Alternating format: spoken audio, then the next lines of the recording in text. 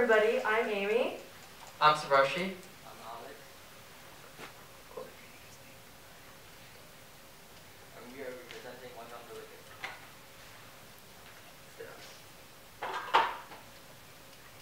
You just hold the button on the mic. Yeah, but it's shining red. Alex, you want to just come and use the podium mic? Yeah.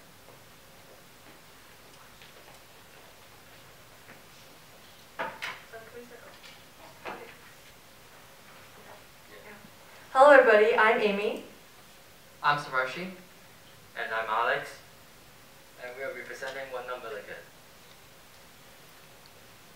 Um, so, uh, as traffic speeds and volume increases, so too does the level of protection desired by pedestrians. During peak times, uh, the road marked, uh, the red uh, stores up to 100 cars, creating tons of jams. And as for students at Milliken Mills High School, this causes a consistent fear whenever they are faced with having to cross an intersection. For that reason, our community challenge is how do we reduce fatalities and provide safe transportation for every pedestrian? So for our, oh, for our challenge, we have decided to focus on this road in front of Milliken Mills as it, as it is the area where the most students are crossing. As our group went on a site tour outside, one major safety issue we found was the lack of crosswalks. We thought it was strange because students use those areas to cross every day. And the marked in red areas are where we found there aren't any crosswalks. One path students use a lot mostly is missing uh, cro- is crosswalk number one. The reasons are, firstly during lunch, many students take the path marked in red to go to Denison Center, where there's a supermarket and also many local Chinese restaurants to eat at. And to add on, there are three bus stops that students use to get home from school and vice versa. Missing crosswalk number two can be commonly seen um, used in the morning and afternoon as parents drop off and pick up their child. However, it is also um, a path students must cross when they, if they're planning to go to the library or McDonald's or Subway, etc. Well, missing crosswalk number three serves the same purpose as the crosswalk number two. It's further from Milliken. Students use this crosswalk every day for lunch and also for the bus. How might we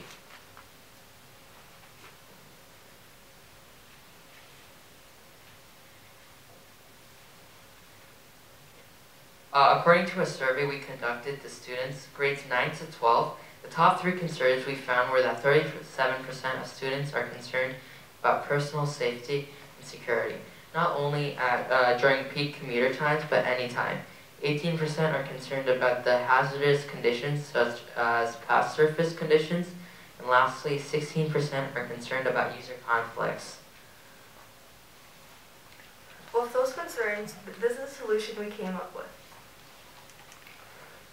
Um, for locations 1, 2, and 3, we propose improved markings followed by yield to pedestrian signs and tactile paving.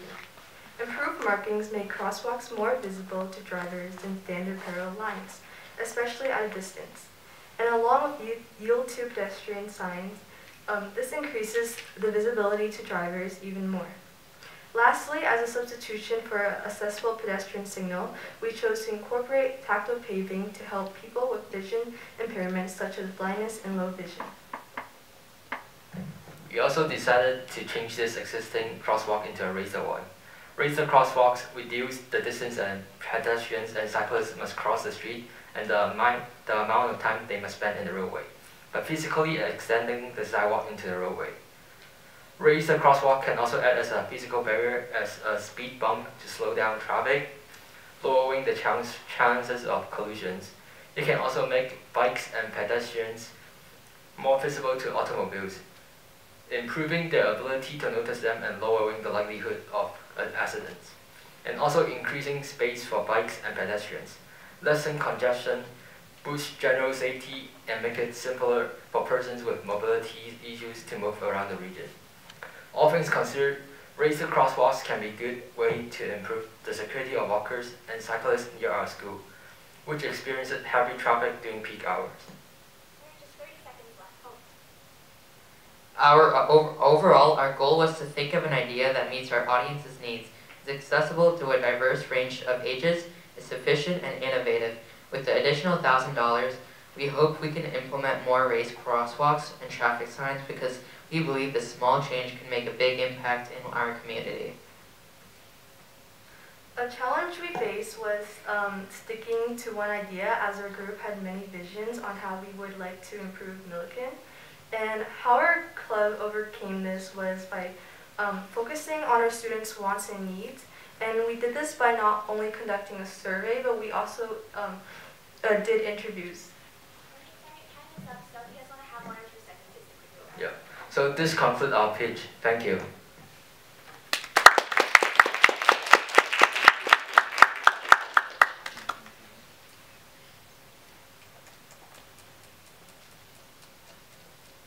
So uh, if anyone have any questions, uh, feel free to ask. Uh, Thank you very much for the thoughtful uh, presentation. I'm wondering, did you do any studies around how most of the students are getting to school? Because you mentioned sort of bikes, walking, bus. Do you have any sort of idea of like how most students go to school?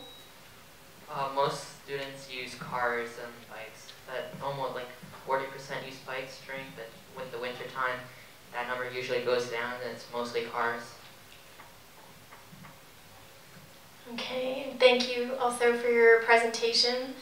Um, you might have mentioned this, I, I might have missed it, but um, did you guys, are, are there any uh, traffic signals, like stop signs at any of these intersections or anything like that? I know there might be missing crosswalks, but in your, in your analysis, did you think about um, not just crosswalks, but maybe a stop sign as part of um, a solution? And if so, tell, tell us more about whether you thought about that or not. Um, so like uh, I don't know uh, if we can go back, but like one of the uh, sections was there was there's an stop, uh, but that didn't really like help since yeah right there uh, the the first red box the middle red box there's a all-way stop that makes it so only one car can like go at a time. Um, but I don't think that really helped us since like cars was just like especially during the morning times with peak traffic everyone's just like hustling they don't really pay attention to that.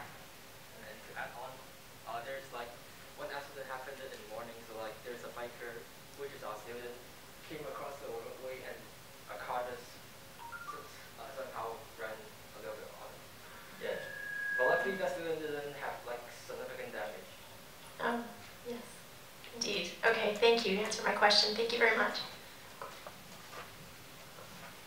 Thanks for the thorough research.